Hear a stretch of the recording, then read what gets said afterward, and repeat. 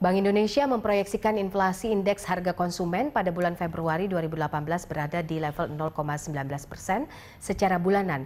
Kenaikan harga pangan menjadi faktor pendorong inflasi.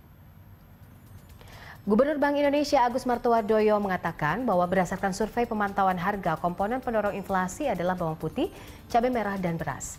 Menurut Agus, kebijakan impor beras oleh pemerintah tidak mencukupi pemenuhan kebutuhan dalam negeri.